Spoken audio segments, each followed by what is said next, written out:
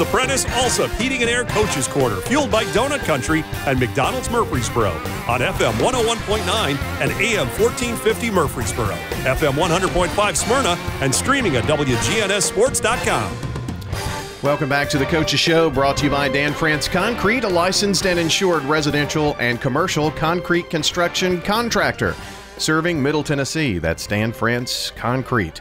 Time to talk Blackman football this morning. The head coach, Matt Kriesky, joins us here this morning, and uh, you brought your assistant coach with you, too, I see. Yeah, I think he wants to come now since y'all got these donuts out here. Hey, you know, the more the merrier. Yeah. We've got uh, good donuts every Saturday morning. Mm-hmm. Coach, uh, started the season on the road last night at I, I, said it a couple of times last night. Maybe one of the toughest places to go play in Brentwood, and and they're always solid. Yeah, that was a great environment. Um, Got to give a shout out to our, our fans. We had a huge following uh, last night at Brentwood. It was great to see uh, an unbelievable student section, um, unbelievable fans there to support these young men last night. Um, it was a great atmosphere for our Friday night, first Friday night high school football game this year. So, uh, talk to me just kind of like the the goings on of a of a football game and being the first one of the season and you've got some experienced players and new players and how all of that works. I mean, when you do anything for the the first official time, you know, the it, it's I guess makes a coach pull their hair out because you've done it hundreds of times. Yeah, um, yeah, it's it's different um, because you know you got three. Uh, we, we had three scrimmages.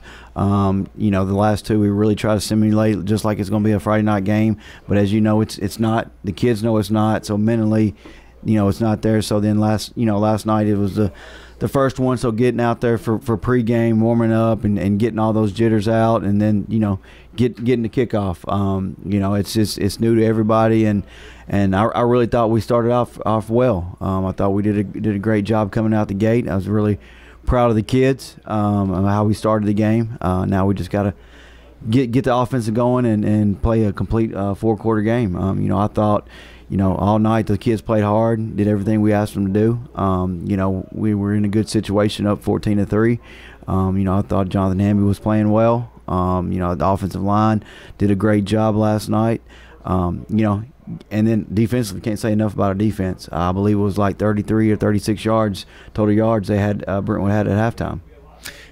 That's that's pretty amazing. Let's talk about the defensive side of the ball first. You know, when you can hold a team to less than 100 yards, really, total offense in the first half, you're doing pretty good. Yes. Um, you know, what helped them out too, you know, we were moving the ball a little bit. We wasn't having them uh, stay on stay on the field uh, as long. Um, you know, they were doing a, doing a great job. We've got a, you know, great leaders on that defensive side of the ball. You know, anchored down by D line by Archie Roseman, a senior.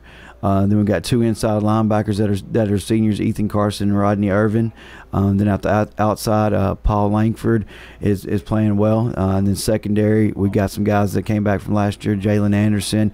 Um, you know, all those guys that had a lot of experience last year, went through a lot of growing growing pains last year, uh, are doing a great job and and everything that we've asked them to do. And it's just their mentality. You know, they they want to win, not the game, but they want to win every single rep.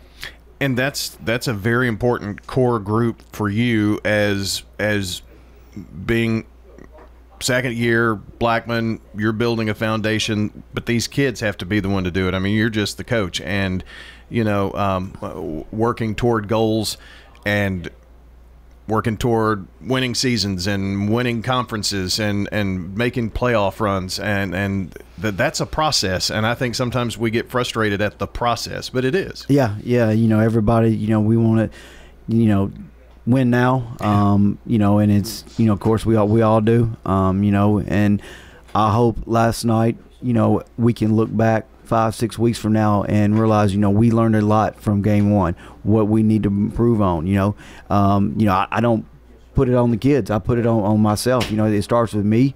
Um, I feel like I did some things that, that hurt the, the kids last night, so I've got to put them in a better position um, when we get in those situations um, where we can excel. And uh, you know, when we're up fourteen to three um, and, and go up 21 3, you know, instead of instead of offensively stalling out. So, um, you know, it, it wasn't all on the kids. Um, I, I think it's you know it's, it starts with me. I did some things that, that I need to correct and get adjusted adjusted, and um, and and we'll, as we move forward, we're gonna get those things fixed. We're talking Blackman football. Matt Kriesky uh, is here with us now. I'm a little fuzzy on exactly how the scoring went, but I know you led uh, for first half, maybe first three quarters. How did, how did it kind of work? yeah, we got that? up. Um, you know, at halftime it was it was seven to three. Um, you know, I felt like um, coming out of halftime, I told the coaches, you know, I would like to uh, get Jaden Jaden Guy the ball early, uh, see what he can. We, we he didn't have many. I think he had maybe one touch uh, in in the first half, but I felt like if we got him the ball early, um, maybe we could go up 14 to three. Um, we were able, we were able to hit, hit, him on a deep ball. Uh, he scored a touchdown, so we went up 14-3. We're feeling pretty pretty good. Um, you know, next series our defense comes out. You know, we make a stop. Um, so we're up 14 to three, uh, midway through the third quarter. Um, you know, we kind of, you know, if, if, we get going and grind the ball out, um, you know, keep moving the ball, keep our defense off the field. I felt like, and, and, and get some points off that next drive. I felt like we could really put the game away. We didn't capitalize. Um, when we needed to, um, and we let we let Brentwood kind of ease, ease, back in in the game. Um, you know, and you can't do that uh, every, at all with the Brentwood team. You know, when they had Ron, Coach Ron Crawford, now Coach Clint Finch. You know, those guys are always well prepared. Have their, have their teams well prepared, um, and so you know we we let them hang around.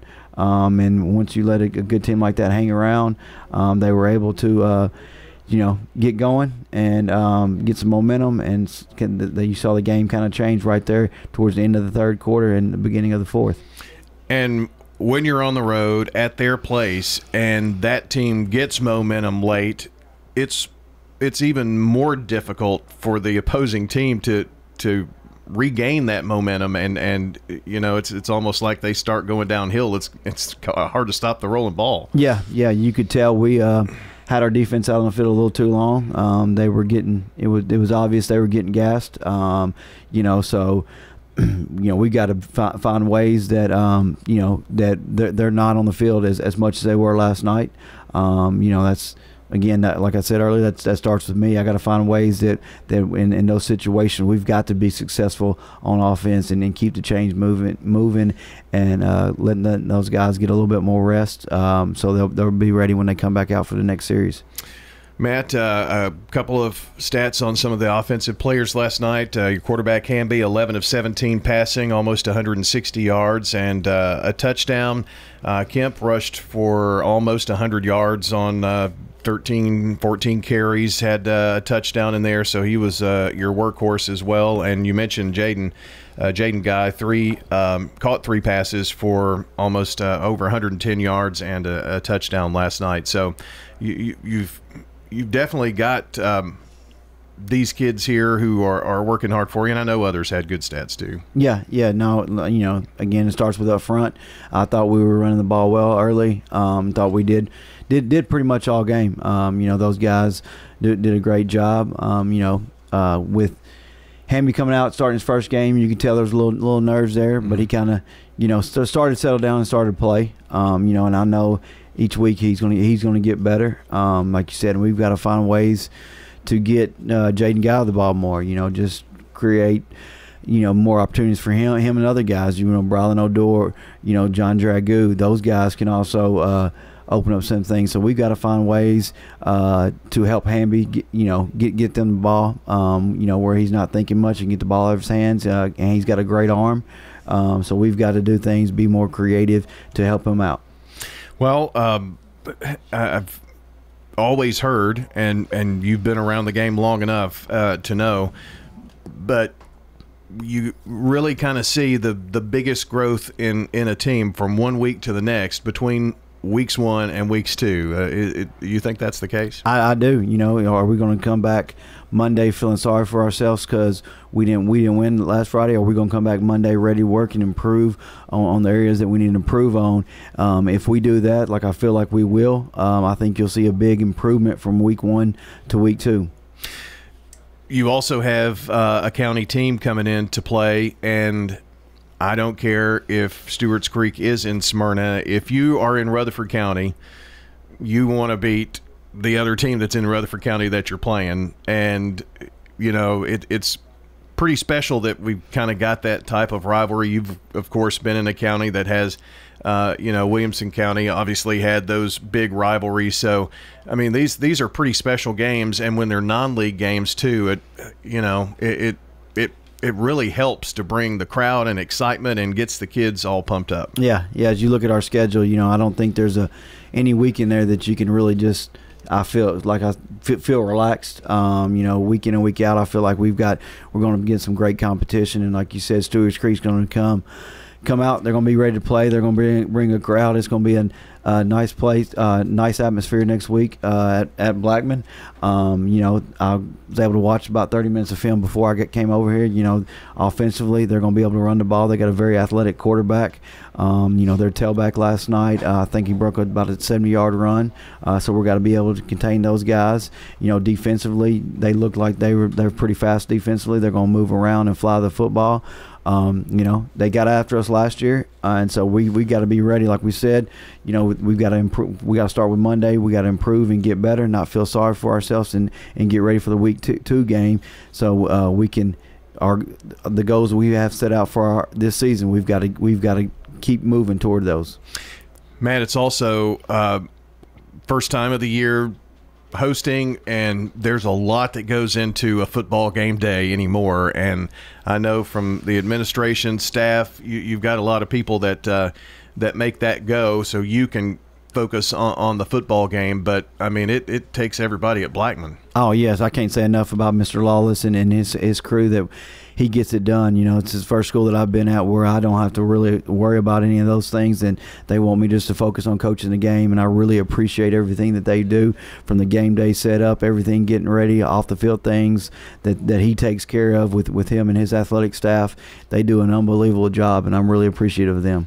Well, he is my uh, next text this morning because that's where we're going to be next week. Is at uh, your place as Stewart's Creek comes in, and uh, it's it's always great. Um, he, he's he's really done uh, a fine job, and Mr. Smith, everybody, yes, uh, you know, just uh, a one out there at Blackman. So we look forward to coming out to uh, your place next Friday night, Coach. Thank you. I appreciate you having Absolutely. me on today. Matt Kriesky joining us, the head coach of the Blackman Blaze, here on the Coaches Show, which is brought to you by the law offices of John Day, providing superior legal representation to injury victims and their families. Find out more at johndaylegal.com. Stickers, labels, we do a lot of direct mail.